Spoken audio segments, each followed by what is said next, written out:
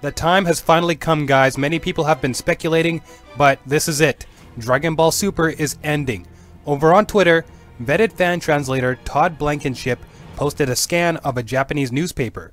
The publication confirmed GeGeGe no Kitaro will be taking over Dragon Ball Super's 9am time slot starting April 1st once the latter finishes its ongoing saga.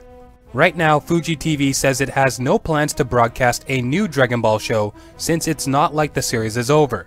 The network says Kitaro will take the Sunday time slot and that Dragon Ball Super's broadcast afterwards is still being discussed. Yeah, you know, I get it. Dragon Ball fans are very upset right now with this news. As expected, Dragon Ball Super is one of the anime industry's most lucrative franchises, and its international simulcasts have made it a global phenomenon. Ratings for the anime have been high in Japan and abroad, and Toei Animation made some serious profits off Dragon Ball's retail alone in 2017 as such. And yeah, I mean, you got the Dragon Ball 2018 film, so that makes sense. They'll need to pool all of their resources for this film because they're saying they're going to be going all out on this film. Akira Toriyama is going to be handling um, a lot of things. So this is it, guys. Toei Animation is stopping production on Dragon Ball Super.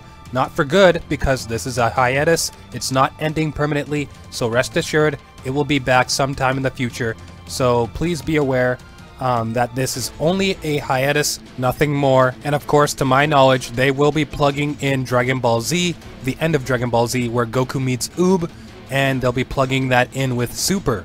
Um, they did confirm that in an interview. And also for the Dragon Ball Super movie, I'm really hyped to see Yamoshi. If uh, Yamoshi is included in, in this movie, hasn't really been confirmed yet, but it's likely to happen. Anyways, guys, be sure to let me know your thoughts about all of this in the comments and more, and I'll see you in the next anime update video. Thank you all so much for watching. Have a great day or night wherever you are. Stay safe. Bang! Gay!